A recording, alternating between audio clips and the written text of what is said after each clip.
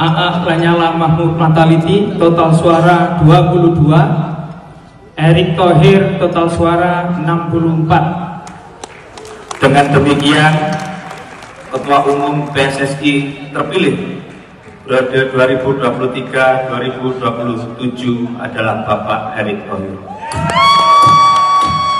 Untuk mensegera akan kita bacakan wasit, pelatih, para pemain, klub, asprof yang tidak kalah pentingnya, kita sama-sama memastikan kejuaraan dunia umur 20 berlangsung dengan baik. Mungkin itu yang tajuk pertama dulu. Baik, selanjutnya untuk Bapak Muhammad Iriawan boleh disampaikan tanggapannya dan ucapan selamat kepada Bapak Erick Thohir sebagai Ketua Umum terpilih PSSI periode 2023-2027. Terima kasih. Yang pertama dulu, saya mantan ketua umum PSSI mengucapkan selamat Alex. sama Pak Erik, ibu saudara saya, sahabat saya. Sukses Pak Erik. Insya Allah beliau akan bisa menakodai PSSI akan lebih maju, lebih baik dan lebih yang diharapkan oleh masyarakat. Tentunya eh, per jam ini yang sudah ada adalah ketua umum PSSI. Kita tunggu berikutnya calon wakil umum dan EXO sesuai janji saya, saya akan mengawal sampai KLB selesai dengan baik, lancar, benar, nyaman, dan betul-betul menghasilkan ketua umum, wakil ketua umum, dan calon ESO yang betul-betul diharapkan oleh publik dan oleh putar. Sekali lagi selamat Pak Erik, sukses selalu. Selamat bertugas. Oh, sama-sama mohon dukungan, mohon dukungan, mohon dukungan. Saya yakin beliau akan membuat sepak bola lebih baik dan lebih maju untuk masyarakat Indonesia. Amin. Terima kasih. Selanjutnya Bapak masih ada. Oh, sih. Untuk Bapak di era kepemimpinan Bapak ke depan nih, hal apa yang perlu dibangun dan diprioritaskan untuk perkembangan sepak bola tanah air? itu banyak itu. Fokus satu-satu dulu aja. Boleh Pak? Under 20 dulu ini ya. Habis kepilih tentu sarasehan sepak bola dulu. Bagaimana kita harus memastikan sepak bola kita yang bersih dan berprestasi. Karena itu kenapa dua minggu lagi kita akan duduk untuk mulai menawarkan apa visi misi kita ke depan bersama, bukan visi misi saya. Kalau negara lain India sudah punya blueprint 2023-2047, masa Indonesia nggak bisa? Nah inilah saya rasa kembali sejak awal saya konsisten visi misi ini bersama. Karena kita dalam membangun sepak bola itu tidak bisa karena saya, tapi karena kita. Nah di sinilah saya harapkan nanti ada diskusi Liga 1 gimana, Liga 2 gimana, tim nasional gimana, perwasitan gimana. Nah setelah itu baru kita punya yang namanya prioritas jangka pendek, menengah, panjang. Dan saya yakin ini yang ditunggu oleh masyarakat kita semua. Dan insya Allah saya berharapkan dukungan maksimal dari semua karena ini waktunya kita terus meningkatkan yang sudah baik menjadi lebih baik. Bapak ada tambahan, ada pesan untuk supporter Indonesia, sepak bola Indonesia untuk membangun sepak bola Indonesia bersama di kepemimpinan Bapak saat nanti.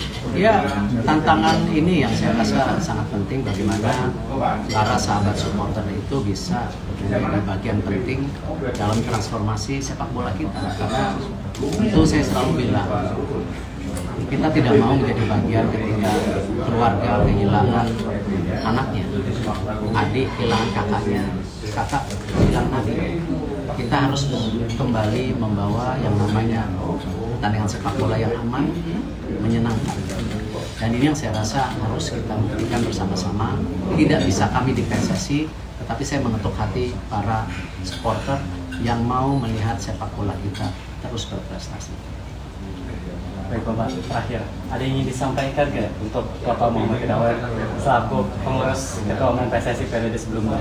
Saya udah bilang di awal dan saya masih tunggu prestasi berikut beliau. Kita tunggu. Kita tunggu. Amin, amin. Ini belum belum selesai. Belum Nanti ada yang lain. Mungkin terakhir izin Pak Ketua Umum uh, dalam uh, urusan kami akan melakukan estafet kepemimpinan yang betul-betul ada tendensi baru. Saya akan serahkan nanti bendera PSSI kepada Bapak bawa, bawa terbang tinggi ke langit. Yang terdekat bawa terbang ke Kenya dulu.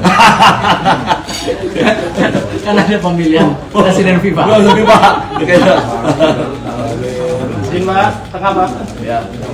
Pak, lihat sini Pak. Satu, dua, Nah, ayo kita tunggu yang lain. Silakan Mas. Pak Erik Pak Erik Pak Erik Ya, ya, ya. Baru aja nyelamatin juga. Oh iya, Bilang gimana Mas tadi Mas? Ini bilang gimana sama Pak Erik? Selamat Pak. WhatsApp apa telepon? WA dulu. Beliau masih sih. Terus respon Pak Erik gimana setelah diucapin selamat Mas Gibran? Dia belum dijawab. Beliau kan masih sibuk. Mau lagi jawab. Santai-santai. Sesuai harapan Pak? Hmm? Sesuai harapan. Ya kan bukan harapan pribadi, harapan seluruh warga yang mencintai sepak bola Indonesia. Optimisme setelah Pak Erik jadi ini nanti gimana Mas ke depannya?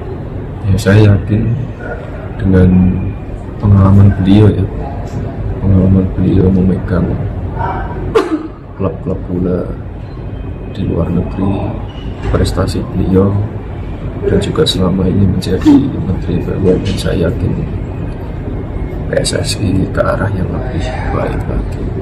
Carut marut PSSI ini eh, jenengan berharap ber- diselesaikan Pak Erik dalam ber- waktu berapa lama? Bang Bro. Saya yakin beliau bisa. Untuk masalah target ya biar beliau-beliau yang di atas sana. Kalau menurut Mas Wali, hal yang langkah pertama yang harus dilakukan mungkin Ya, banyak banyak. saran Hmm? Ya kalau pecinta bola teman-teman pecinta Persis Solo ya pasti pengen nih nonton. Diperbolehkan nonton lagi. Itu sesimpel itu.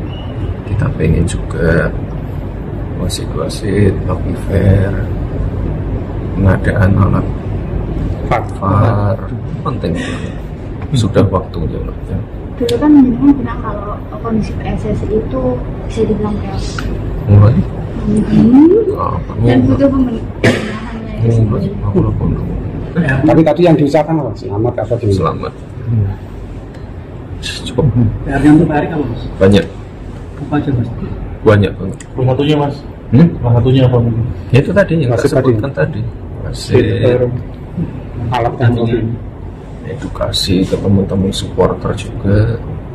Standarisasi semua ya. Udah waktunya ke sana lah dan saya yakin bisa Terkait Kanjuruhan juga tuh ya beliau PR beliau Ya, bupati ini mesti tahu ini mesti tahu survei mana juga Terkait keamanan. jadi percontohan Standar keamanan. kan mau dibangun deh pengen menjadi mana Berarti mirip stadion Manahan. Mm-mm. ya layout tanahnya hampir-hampir. Ini juga jadi momen yang pas eh, Indonesia menjadi tuan rumah. Ya, Iya, iya, juga pas. ini nih. Momennya pas banget. Ini kita lagi semangat semangatnya mempersiapkan Piala Dunia. Dilalah juga Pak Erik terpilih ya ini momen yang sangat bagus.